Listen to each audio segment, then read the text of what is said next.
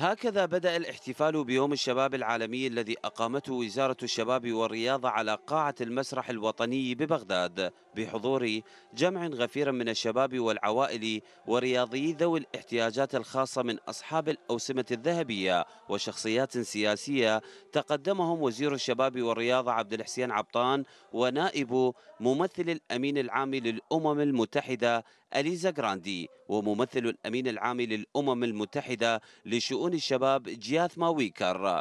وزير الشباب وفي كلمة له بين الأهمية والدور الكبير الذي تمثله شريحة الشباب في العراق خاصة بعد تحرير الأراضي المغتصبة وما للشباب من دور كبير في إعادة رسم خارطة المستقبل من جديد. من بعد هذه الأيام من بعد تحرير الأراضي والحمد لله أن نتخذ من هذه السنوات القادمة سنوات للإعمار وسنوات للتقدم أو اللحاق بالدول التي سبقتنا في كل مجالات الحياة. وأنا متأكد أننا إن شاء الله سنحقق الكثير في القريب العاجل.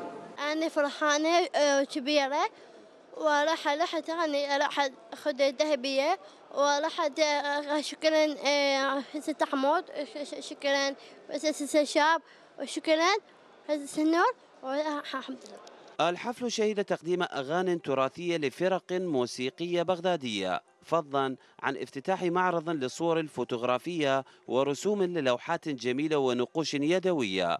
سفراء الأمم المتحدة في العراق بيّنوا أهمية انخراط الشباب بما يتعلق بالبناء والمصالحة بمرحلة ما بعد داعش.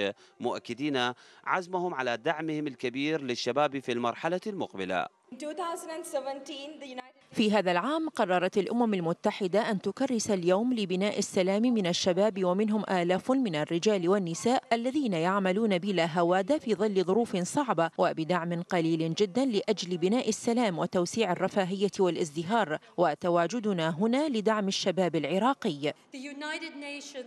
تحيي الأمم المتحدة الانتصارات العظيمة التي حققتها القوات الأمنية في الموصل. وأيضا نقف إجلالا للتضحيات التي قدمها أبناء العراق للوصول لهذه النتيجة. وما يميز هذا العام هو السلام بين الشباب. حث الشركاء الدوليين على دعم الحكومة العراقية بمساعيها لتغيير واقع الشباب العراقي نحو الأفضل بجعله شريكا حقيقيا في عملية البناء المستقبلي هو الأمر الذي يبحث عنه كل هؤلاء الشباب المحتفين بيومهم العالمي.